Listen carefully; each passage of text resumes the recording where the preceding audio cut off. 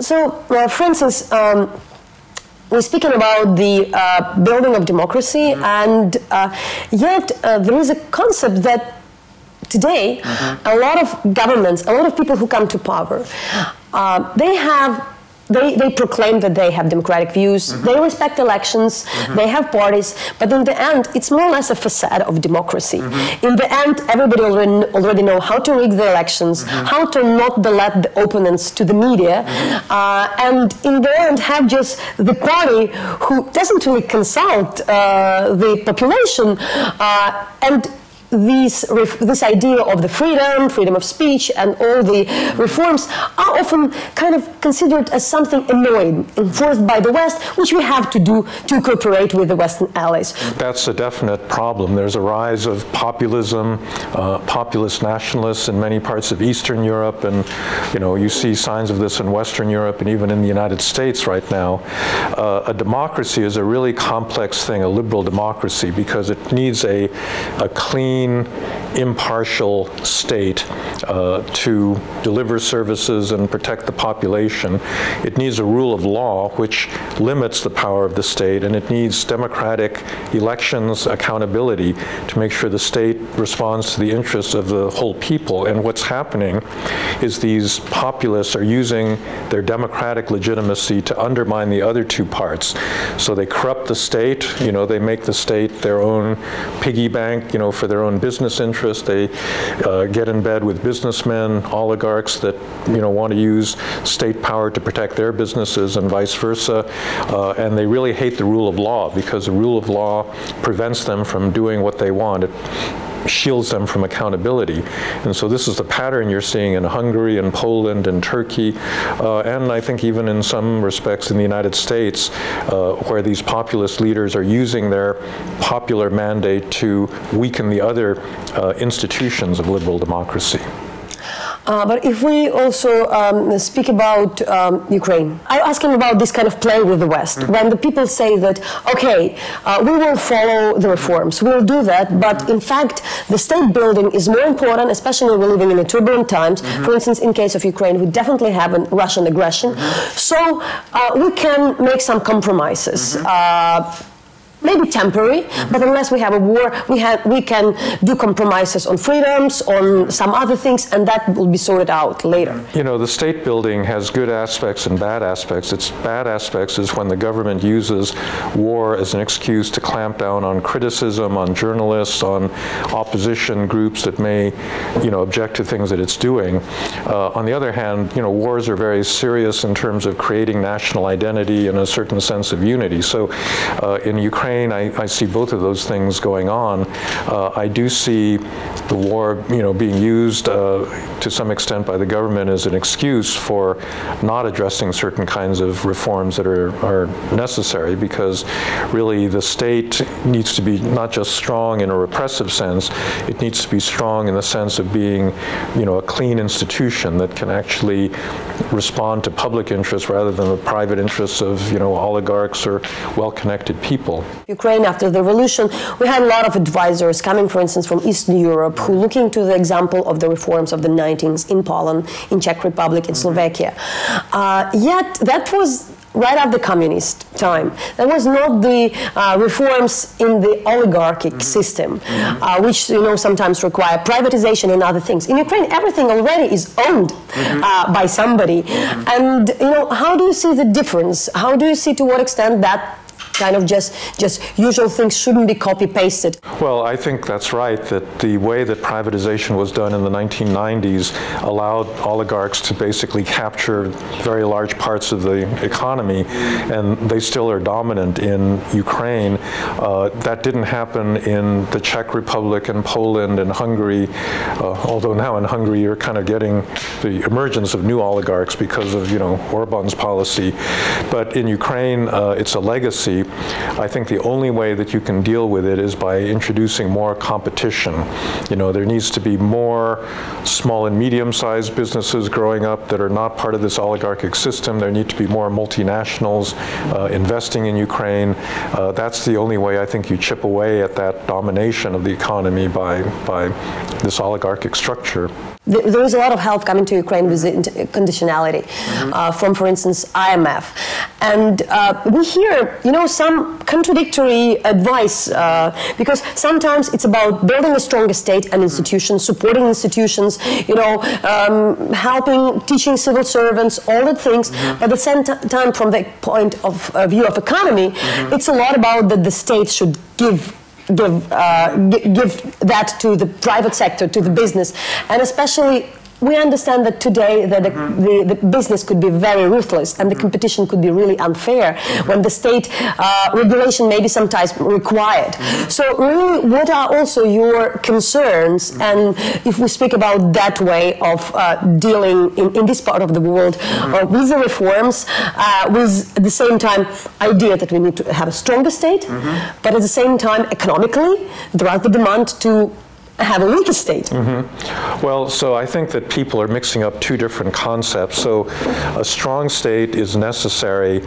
uh, not in the repressive sense, but in the sense of having the capacity to do something like regulate, you know, water, electricity, roads, you know, to actually deliver services in a city uh, so that the roads are paved and there's, you know, access uh, to health care, all these things. I mean, that's my definition of strength. It's not that you can put journalists in jail, it's that you can actually uh, do things. But at the same time, the state's scope needs to be restricted because states really have no, I mean, the, the government has no business owning a lot of profit-making businesses that are much better done by private sector actors.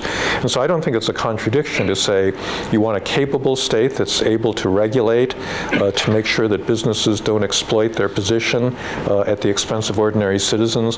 And so I think you can both simultaneously want to strengthen the state, uh, uh, in terms of its capacity, but also restrict its scope in terms of the kinds of things that it does. You know, there's there's a lot of regulation, there's a lot of bureaucracy in Ukraine that really drives away investment and makes you know people. Uh, uh, less willing to put money into it because they're not certain, you know, what's going to happen uh, in the future. After communism would be a different state and the capitalism would work, but like we have, and it would open the society, but we have China mm-hmm. becoming more oligarchic, mm-hmm. and like a lot of countries in Eastern Europe and in Africa and elsewhere, and also in Ukraine. Mm-hmm. So really, what are the key things to uh, well, fight oligarchy. There has to be a clear separation between, you know, a state official and their public responsibility and then the private interests of that official. Uh, and if you mix the two up, uh, you're going to get you know really big uh, big problems. You don't want people going into politics to protect their business interests and vice versa. Uh, so without naming any names, you know we have a version of that in our country where for the first time we've had a businessman elected president who has not given up his business interests and uh, you know he seems to be benefiting himself in the way that he uh, acts. But as I said, you know, the ultimate solution to the problem of oligarchy in, in in Ukraine is more competition. You know, you need a, a vigorous private sector that's not dominated by these well-connected, you know, semi-political oligarchs. You need uh, multinational companies. You need small and medium-sized enterprises. You need the possibility that you can start a new business, uh, let's say in the IT sector, and that it can grow without being interfered with politically. I think that's ultimately going to be the solution.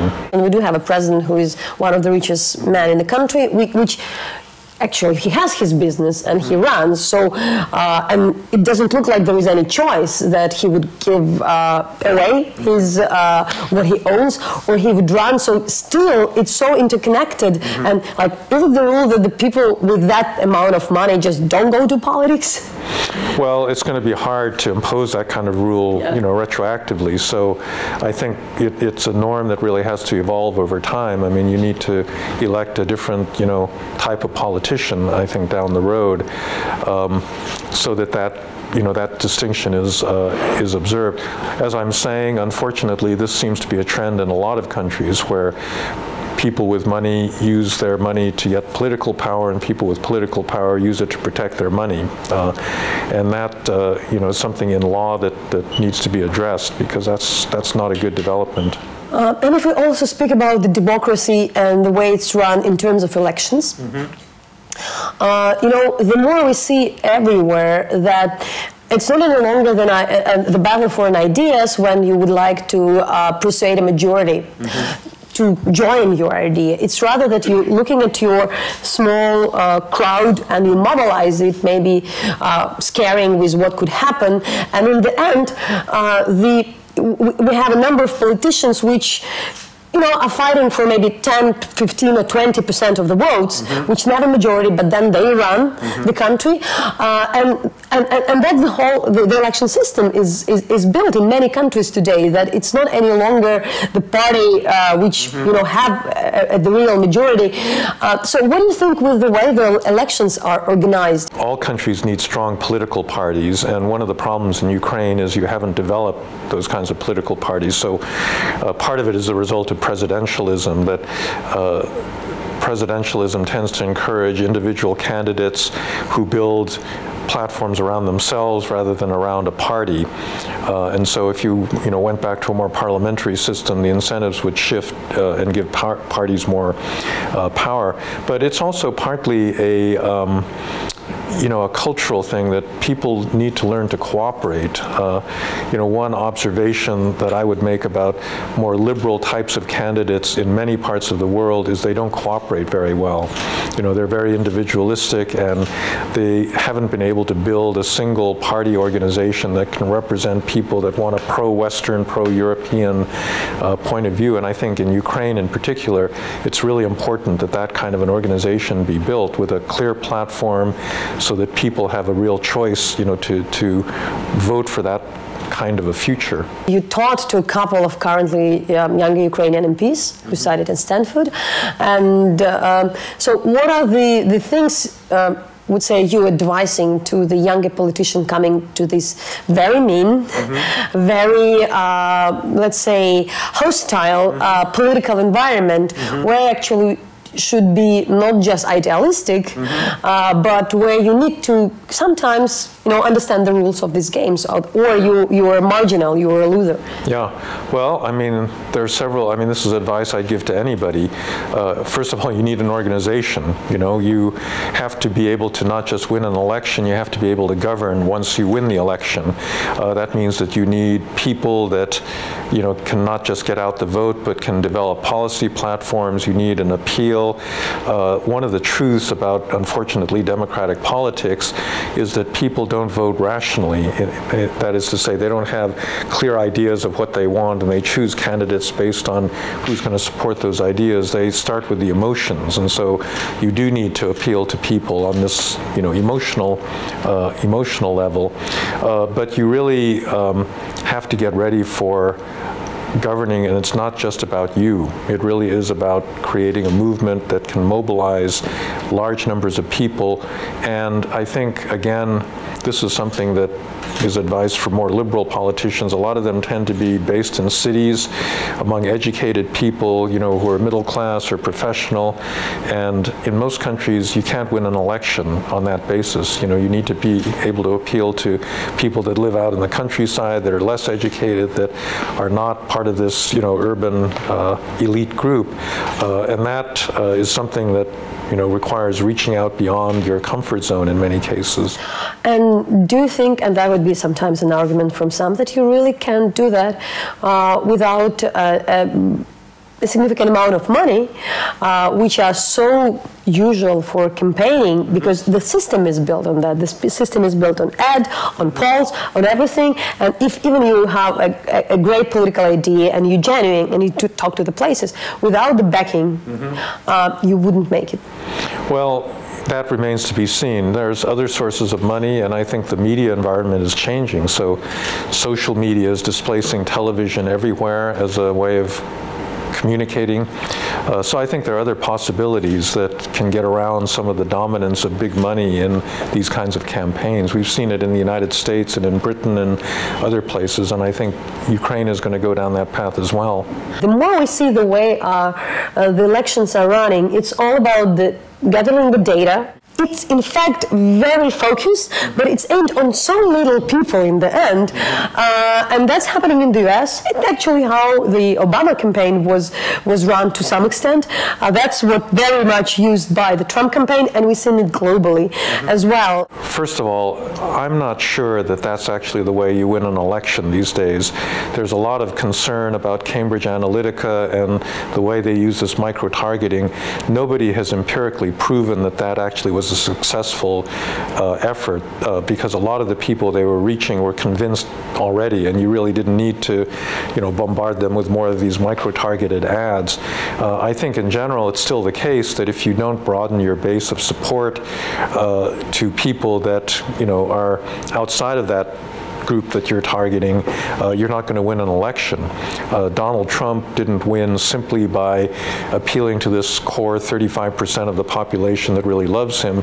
He had to win over enough people in the middle in order to get past the, you know, the, the in order to win certain key states. And I think that's still the case in, in most elections. You need a coalition. You need to appeal to, you know, a number of social groups that, you know, aren't necessarily your fanatical supporters. We, we have Russian aggression in Ukraine. We have Russia rising as an international power to be there, to be heard. The aggression would be always a legitimate excuse uh, for not doing something. To what extent, actually, in such circumstances, the, the country is able to do something, having that neighbor, having that outside threat, just succeeding as as a reform country? Yeah, I, I don't think that the Russian aggression should stop the uh, possibility of reform. If you look at South Korea, they've had North Korea on their border. They've not settled that war. They're still technically at war with one another. There's still a heavy, you know, uh, militarization of their border uh, with lots of conflicts over now nuclear weapons and so forth. South Korea has spent 25% of its budget on the military, much higher than most other countries, and yet it's been one of the most successful growth stories and democracy stories uh, over the last 40, 50 years in the world. So, you know, it can be done, and there's there's actually something sometimes useful about being at war because it does tend to shape a sense of national identity.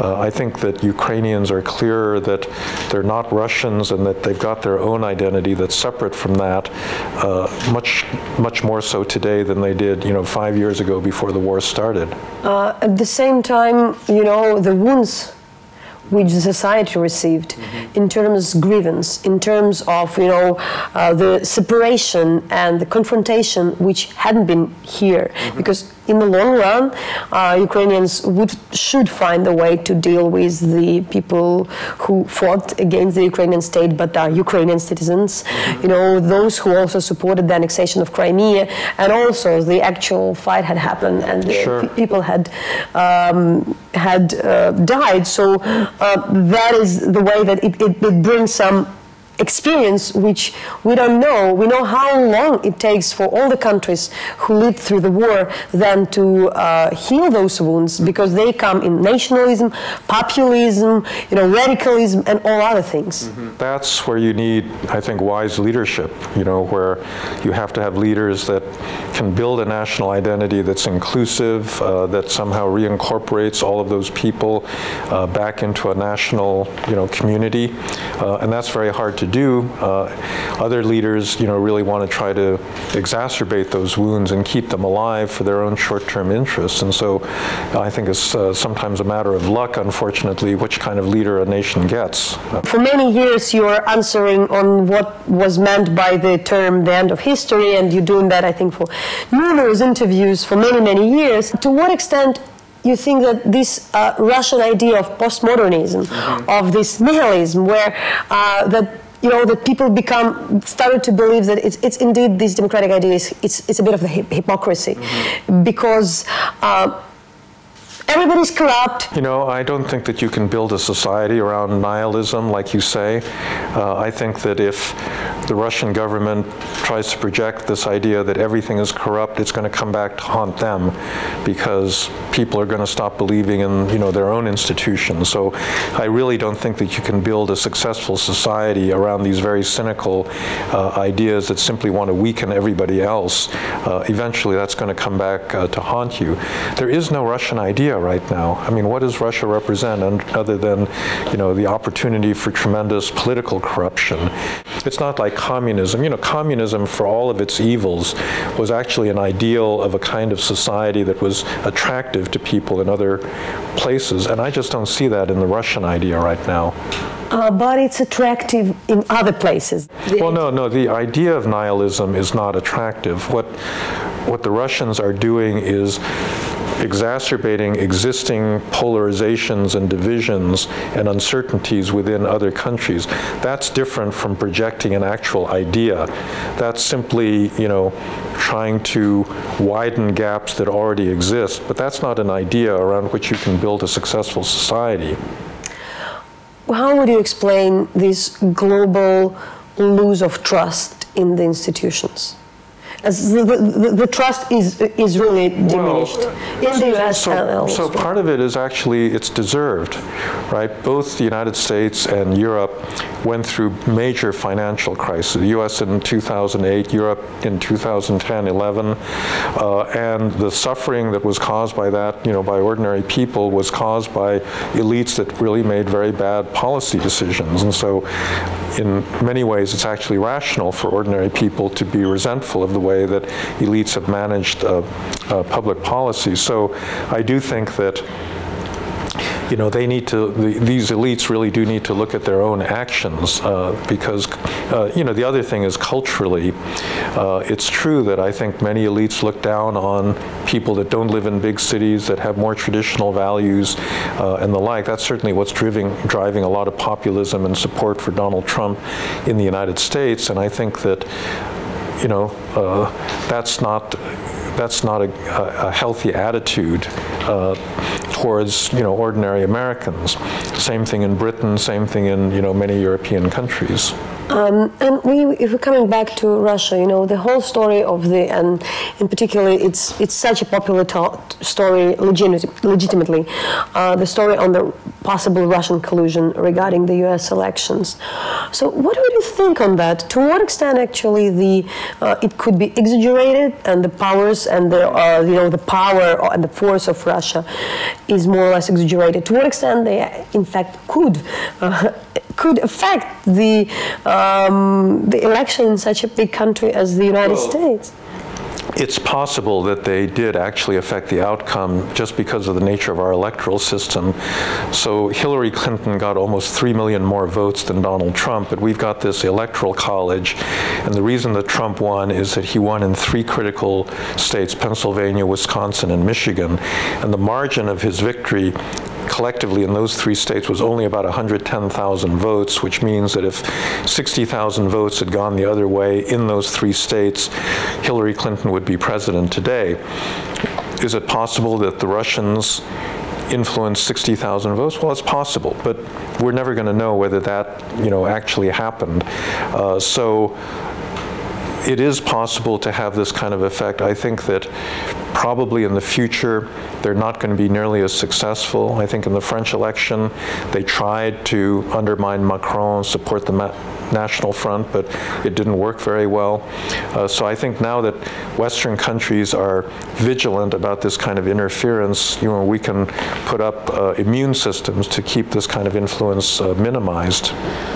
Another thing where people don't feel confidence mm-hmm. is that international institution doesn't protect them any longer. Mm-hmm. Uh, with the Russian aggression in Ukraine, which had happened 2014, where in the 21st century, one country could in fact occupy the part of another country and nothing could be done doesn't matter how you know how strong are the partners and allies uh, despite all these uh, promises on the budapest memorandum uh, there is really not, not any more confidence to real organization like, uh, let's say, UN, which due to the system which is built, uh, there, is, there will be always veto mm-hmm. on the questions like Ukraine and, for instance, yeah. Syria. So, it, to some extent, uh, there is a demand to, uh, let's say, challenge the current international order mm-hmm. uh, by Russia and by some other countries that we have to renegotiate.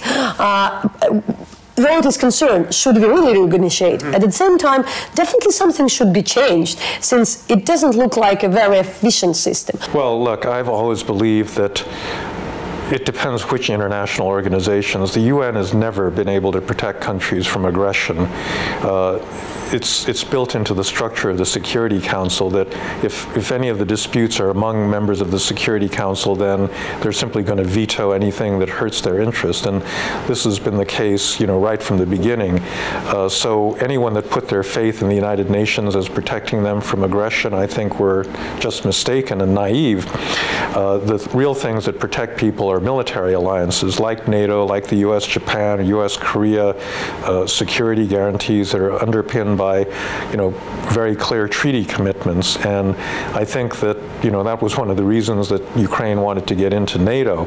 Uh, it didn't succeed in doing that, but I think in the end, it's these kinds of geopolitical relationships that are going to uh, secure uh, the sovereignty of countries and not international organizations like the United Nations. Uh, but uh, what is significant that somehow you, you let's say, uh, acknowledge and change your mind from the supporting the neoconservatism mm-hmm. and then uh, making an argument that it didn't work. Mm-hmm. so I would ask to more or less explain that mm-hmm. and as well say what you would say also to the people, public intellectuals, politicians who kind of change their ideology. Mm-hmm. Usually they just kind of pretend that they weren't existing before that because it's not in their nature to do that. Well, I think people, you know, uh, should be able to change their minds about things and they should be honest about those changes. So in my case, you know, I, I had a, uh, I started out as a conservative or a neoconservative.